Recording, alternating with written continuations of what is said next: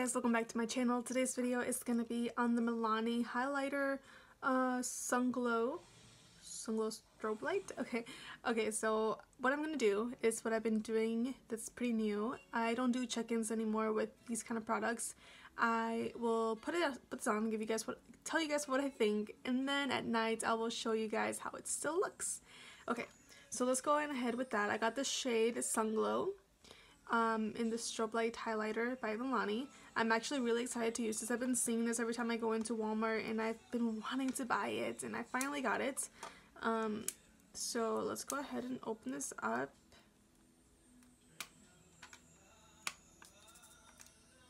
I've also been trying to make my videos a little more raw. Let me guys, let me, let me know if you guys like that or if you guys want me to go back to the editing and put leaving out things that are basically useless. Okay, so I want to really test this out. So I'm going to use two different brushes for each side. I'm going to use this one for one side and this one for the other side and then we will see which one makes the highlighter look better. So I just took off the plastic, but now I can't open it. Okay. I think this is a beautiful highlighter. I fell in love with it when I saw it at the store, so hopefully it doesn't disappoint me. Okay, let's go in with the fan brush first.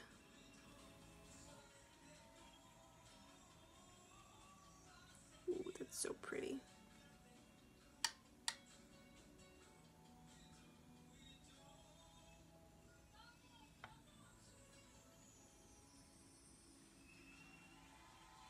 Wow, I am not disappointed. Oh, let's I am not disappointed. It looks beautiful with the fan brush. Sometimes it's really hard to get fan brushes to work with highlighters. Now let's go in with this one. This is the one I normally use with all my highlighters.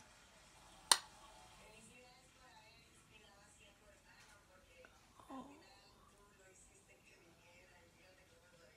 I always like the way this makes all the highlighters look, but oh my god. Okay. This one looks good. This one looks better use a brush like this instead when you do a highlighter, especially with this one. I think this looks beautiful. Okay, now I'm gonna use this to get my nose and top of my lips. Okay, I'll check in with you guys here at night and see how it still looks. I love it so far. And that's it for now. See you guys in a little bit. Okay guys, checking in. Um, it looks amazing still look at that glow. Look at this glow. I love this highlighter you guys. I'm going to use it a lot more all over the body, not just on my cheeks. Uh, yeah, and that's all I have for you guys. It was only $10, so I think that's an amazing price for a highlighter. Some other ones are like $20 and they're not even that good. So yeah, that's all. I hope you guys enjoyed this video and I'll see you guys in the next one. Bye guys!